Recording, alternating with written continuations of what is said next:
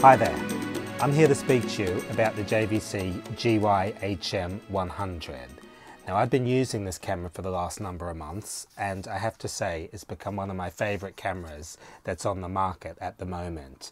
Now it's a nice small package but it's incredibly capable records using the XDCAM EX codec, records up to 35 megabits a second, and the performance is really what counts, as well as the manageability.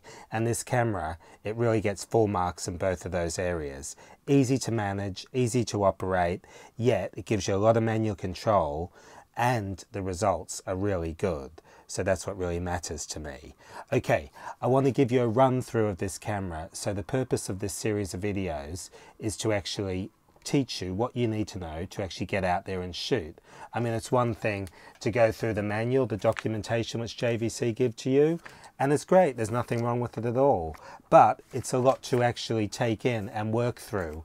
And with most of these technological devices, you don't need to know everything, you need to know enough. So that's the purpose of what I'm trying to show, what you really need to know about making this camera work for you. Okay, to begin with, there's a couple of things we've got to run through. First of all, let's look at the accessories. All right, you'll need some batteries. Obviously, you get a battery with the camera, but you probably want to buy a few more. So I've got two extra batteries here, in addition to the battery that's on the back of the camera. You have got an AV cable, you've got a component cable, and a power cord which plugs into the charger.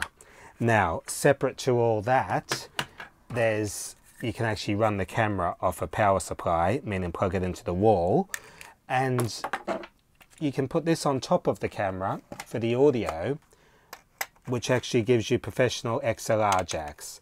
So that fits on top, tighten it up, and then there's a little bit over here which slides back and it just plugs in.